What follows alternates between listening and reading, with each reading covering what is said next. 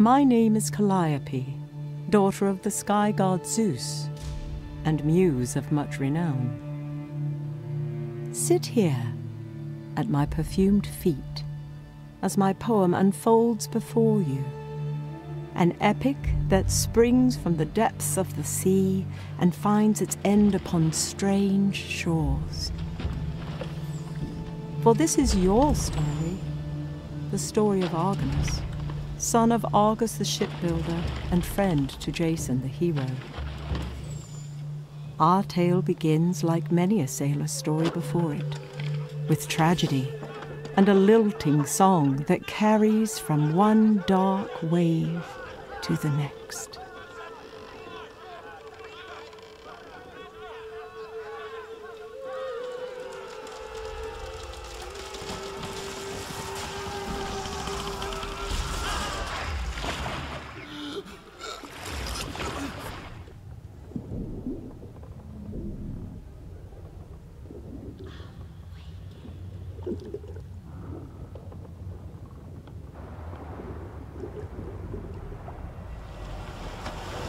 Awaken.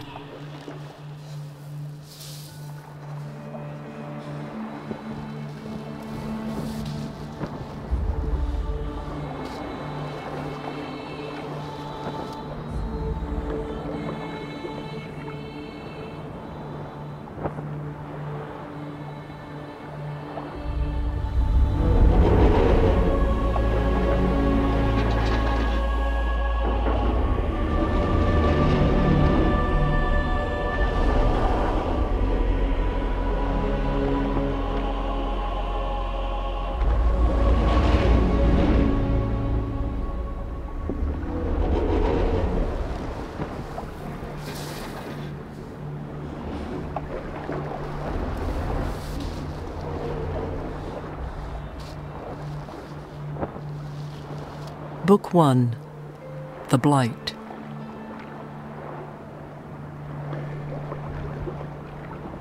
A frozen scream is etched upon the face of bewitched Tiphys, helmsman of the Argo. This owl seems unaware of its preternatural perch, and un- tis the faithful Argo, her weathered hull rent, her sto- Acastus, the son of King Pelias, and a light. This statue, if it could be called thus, is that of Hylas, a man whose hands brought oar to water not but a day ago.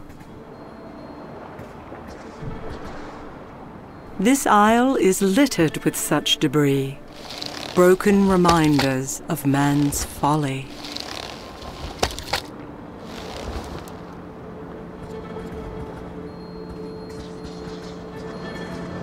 The death that haunts this isle.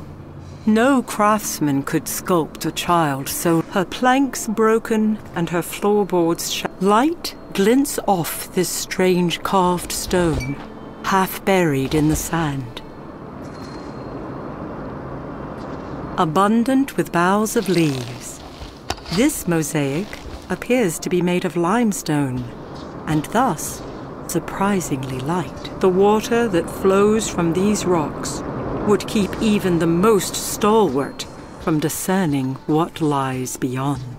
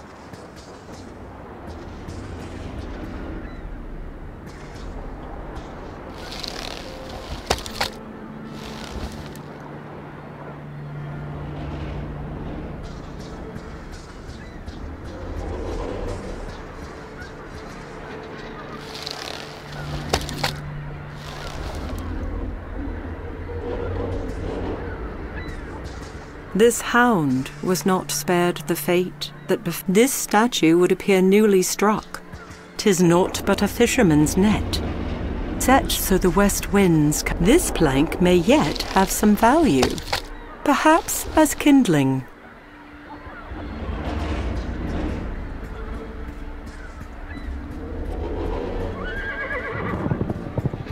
Whether spooked or merely provoked, the stallion launches itself from the cliffside before mighty wings carry it far above, nearly 200 men high. The massive bronze soldier stands silent, though salty mists shroud their form. This statue is of Minos, the king of Massive stone doors are cradled by the sheer cliff face. a semblance of Pasiphae, the immortal daughter of the sun god Helios, guards the entrance into this mountain.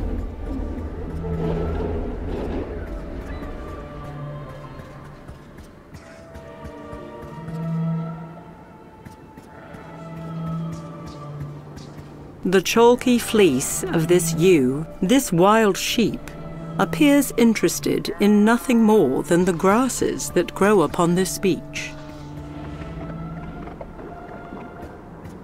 Tis Palaemonius, son of Olenian Lernus, whose bodily frame and valour no man could match. Long, twisted necks adorn the pitted surface of this stone tablet. This young woman, most likely a this child, was not struck down by mortal ills, but surely by something that is beyond this world.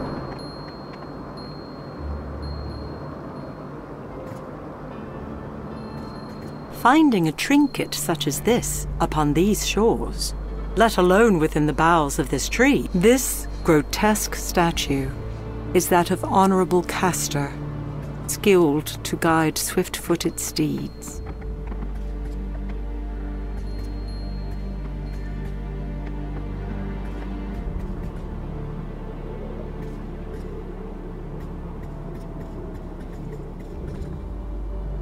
The head of a once giant stone statue lies half hidden in tall grass and underbrush.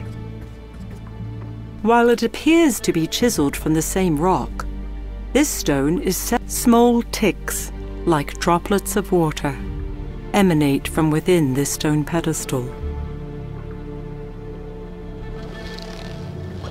The stone drops neatly into the groove, and the great eye slowly moves, revealing a hidden passageway.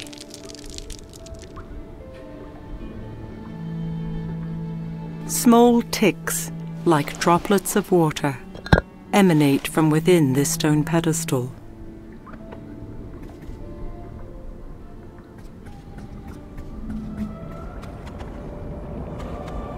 The lovely purple color of this flower conceals its poisonous nature.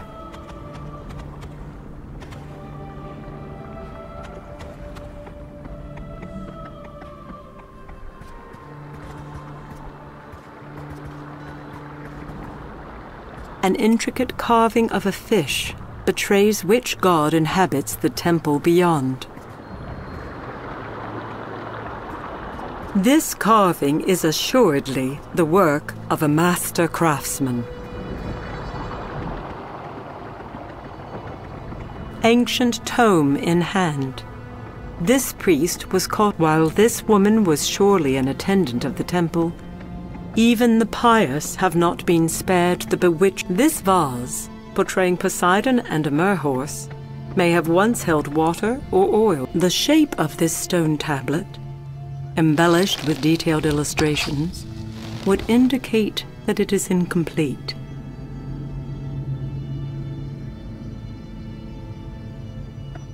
Colorful tiles create an exquisite depiction of the sea god ruling his. Unlike the unearthly statuary that inhabit this isle, this towering statue of Poseidon shows the workmanship of a master sculptor's hand. Unencumbered by the burdens of man, this mosaic depicts the gods both at war and at rest. This stone is bereft of markings, offering no explanation for the small depression set into its surface. The yellow light it emits is curious. Deep waters, lavished with mermen and gods, are etched into this mosaic.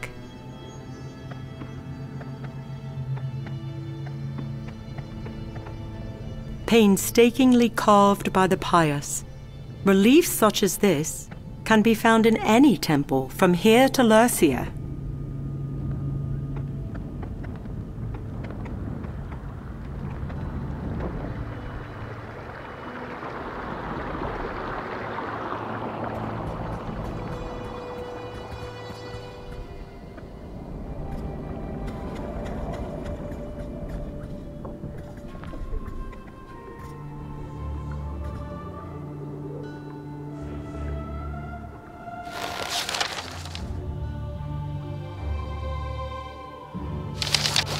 May these words recount the strange toils of Argonus, chronicler and maker of maps, washed up on strange shores and awakened by the voice of a goddess.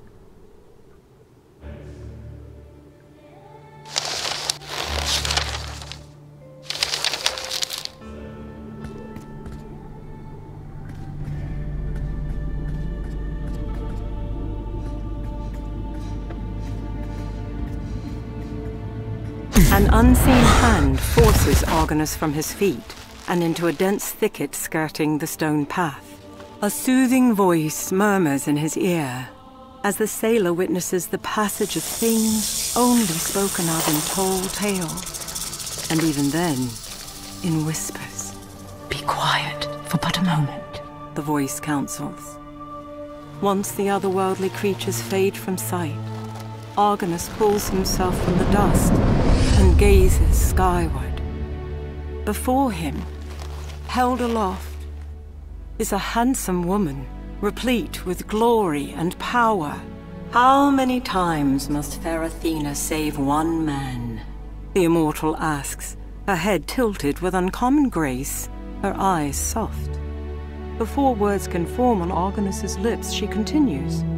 Tis not a query to be answered so readily, sailor of the Argo. Shadows gather, she says. There is a blight upon this isle. Have you not seen its handiwork? The flesh of your companions no longer flesh. Their bones, that of the earth. The woman's eyes drop. I fear my own hand may have set these dire events into motion. For this, I will make amends. But know well, many of your brethren yet live, for I have seen them with my own eyes. Find them, Argonus of Crete, and as I did for your father before you, I shall provide a boat and passage from this isle. You have the word of fair Athena. Not a heartbeat later, the goddess is gone, and breath gladly returns to the sailor's lungs. Tis Phalerus of the Ashen Spear. The statue is certainly that of the hero, Oileus, peerless in courage and strong in spirit.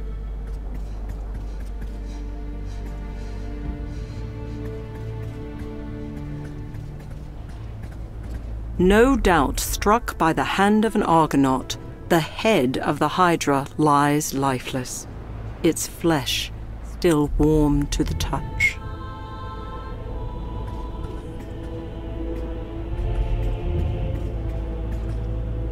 One can become extremely ill consuming the berries from this black nightshade. Paul Canthus, son of Hail strong Eribotes, Calais was a welcome Taenarus has lost a great son. Tis the visage of strong Asterius, son of Hyperasius, who stood two score of men against the Gagenes on the land of the Doliones.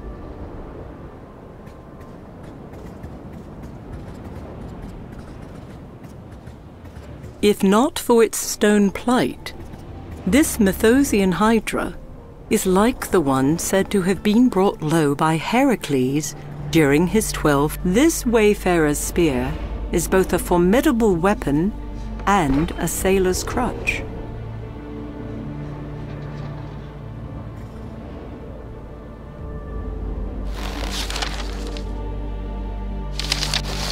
Blessed are those who chance upon this manuscript, only to marvel.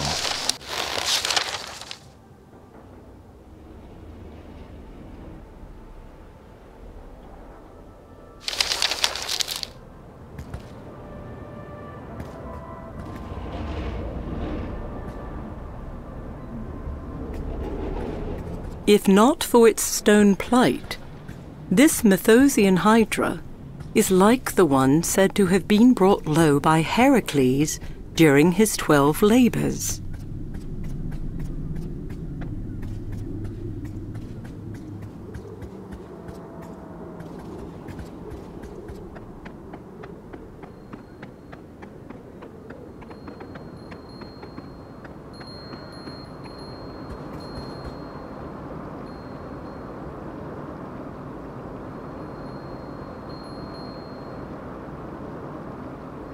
Using the broken spear, Argonus plucks the necklace from its roost before laying it about his neck. This grotesque statue is that of Honorable Castor, skilled to guide swift-footed steeds. This necklace is not unlike one that was worn by Pelias, the son of the great sea god himself.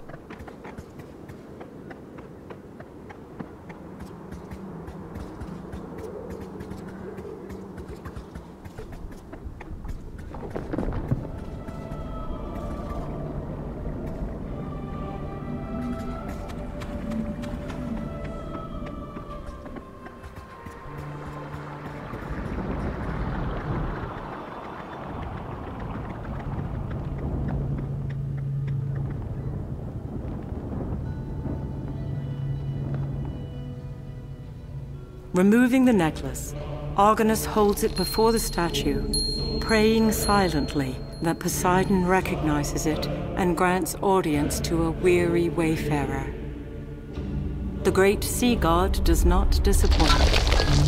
Within seconds, marble shudders, foundations shake, and the heart of Argonus is quickened.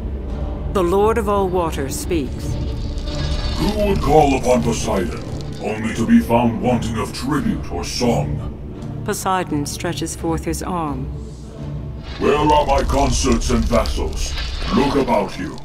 You may seek them, but they will not be found. They have deserted me, forsaken me in this darkest of hours. And who has set loose the scourge that you have borne witness? Athena's puppet, the son of Danae and Zeus himself. The sea god pauses for a moment, taking measure of the sailor before him. Yet, even so, my anger is not fit to be laid upon the shoulders of my bondservants, let alone set upon one whose necklace bears my mark. Leave me to my grief and seek me no more. I have opened a way for you. Take it if you wish, or abandon it. It matters little. The statue of the sea god turns his gaze away from the sailor and speaks no more.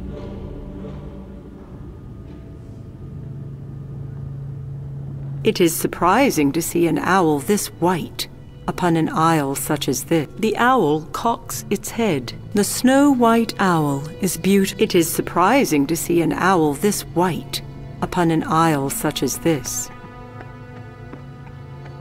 This stone is bereft of markings, offering no explanation for the small depression set into its surface. The yellow light it emits is curious.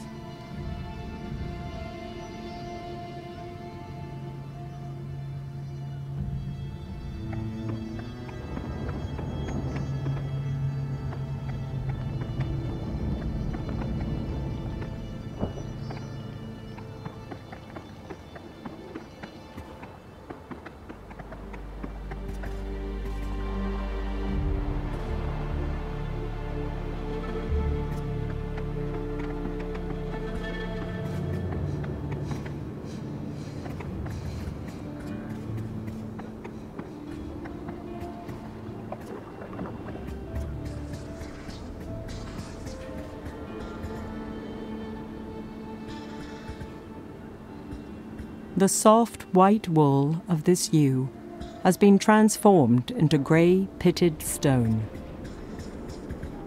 The chalky fleece of this ewe is wanting for a shearer's work.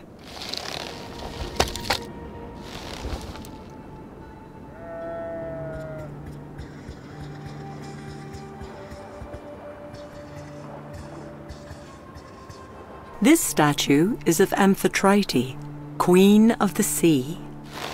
Sadly, the goddess did little to hinder the. I have offered many a prayer to the gods of the sea, fervently petitioning favor while tossed upon great swells within dark storms. Yet it was not until my foot felt consecrated ground that any scales of disbelief fell from my eyes.